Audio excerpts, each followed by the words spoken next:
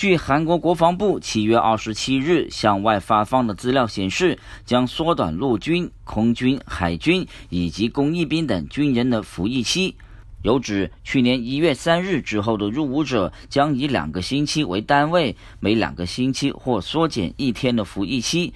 本来需要服役二十一个月的陆军，便可缩短至十八个月的服役期。而目前正在军中服役的韩流天团 BigBang 队长 GD 成员太阳和大生，分别在今年二月二十七日、三月十二日及三月十三日以陆军的身份入伍。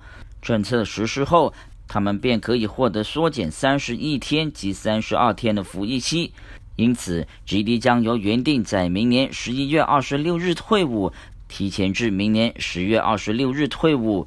而太原和大生也可获提前至明年十一月十日退伍。至于正在以公益兵身份服役的人气男星李敏镐，也会由原来服役的二十四个月缩短至二十一个月。魔方传媒综合报道。